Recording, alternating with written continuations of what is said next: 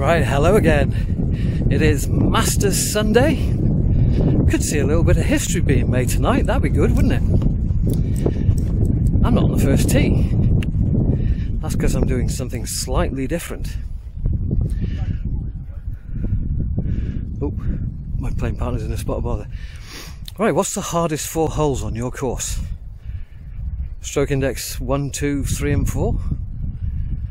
But you get shots on those so you're not really under any pressure to get on the green in two. You're not even under any pressure to hit driver. What about holes 15, 16, 17 and 18? You don't get a shot there. Well, you might if you're a higher handicapper, but a lot of us don't get a shot there. So we've got to play those holes perfectly. Whereas the stroke holes, we don't have to be perfect to walk off with a net par. So I'm going to play 1, 2, 3 and 4, 15, 16, 17 and 18. Stroke indexes, not actual hole numbers. And we'll compare my net scores on the hard holes to my gross scores on the easy holes. Are they actually that easy? Now it's only two weeks after lockdown, and as you've seen, I've been thrown in double bogeys here, there, and everywhere. So the score might not reflect my thinking, but if it gets you thinking how you approach certain golf holes, then job done. First hole we're going to play is the fifth, stroke index one.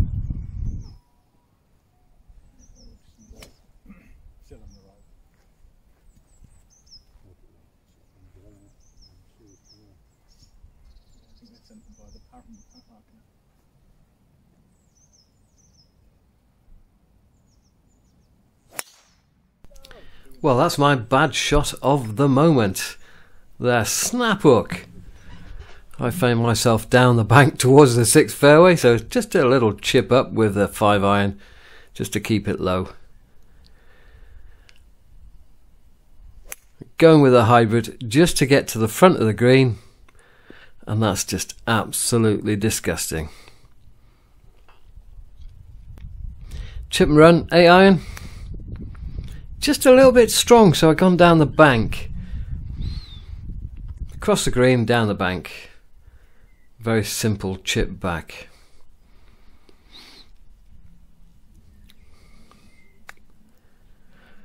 And that's going to be a double. Oh dear. Not the way to start.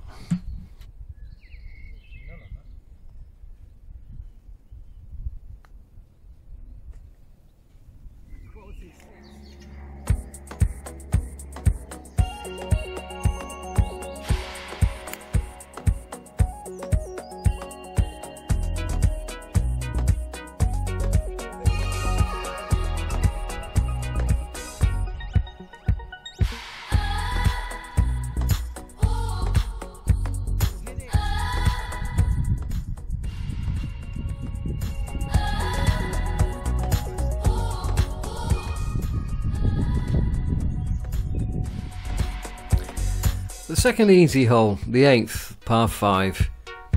I don't know why it's stroke 17 because the area of the fairway that gives you a straight shot down the hole is quite small. Set up here to draw the three wood and yeah. I had no idea where it had gone till one of the guys told me it's over here in the left rough off that tree. That's an okay seven. Uh, that's an okay five iron, even. But it leaves me this long putt, which is um, it's quite difficult. There's quite a few borrows on this, and I'm not too sure where it's going to go.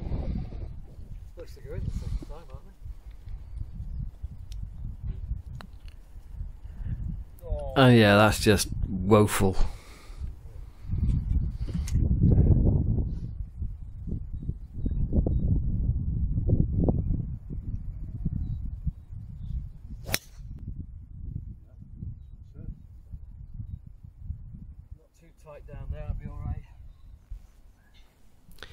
Well, a decent drive. Not a long one, but decent. Just got the hybrid down here into the green. This shouldn't be any bother at all. And that's a skinny one out to the right. But this is okay, I've got a clear run here. Very simple chip and run with a 9 iron. Just a tiny bit firm.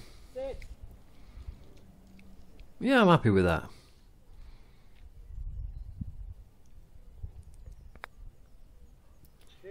Wow, that just went off in my hand. That's an absolute mile past.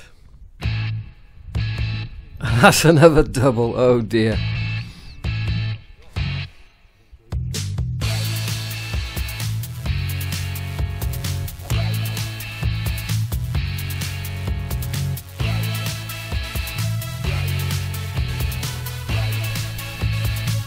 Well that was a little tight to the corner, so all I can do is run this a bit. I haven't done too badly out of that. Flag is right on the front right, and I drag that left, and I'm pretty disgusted with that. And you'll see why when we get on the green. Yeah, this isn't very far away, but look where I'm aiming, for goodness sake.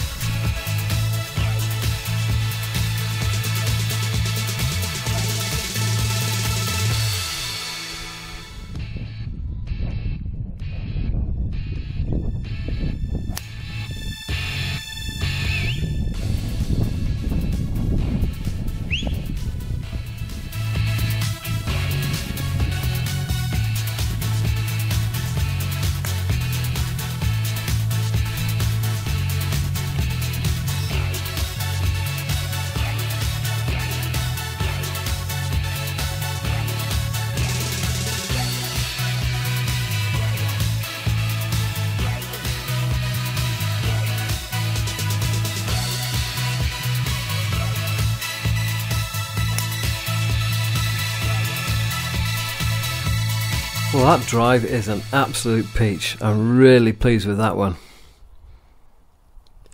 Green's well above me, that's why I'm taking a 4 iron from 164. But it goes in like a bullet. At least I'm up there. Now I'm choosing to chip this so I can get a little bit of check on it.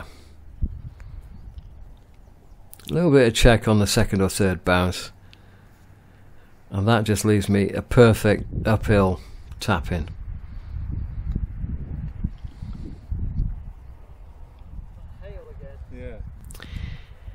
And yet again, witness the hard pull to the left. Yeah, that isn't pretty. If I hadn't have hit the oak tree, that was a lost ball. Now I can't get this on the green. It's a bit of a downhill lie. It's going to come out low. And I've done exactly what I wanted to do, was just get it out short right. Have a little pitch up the green.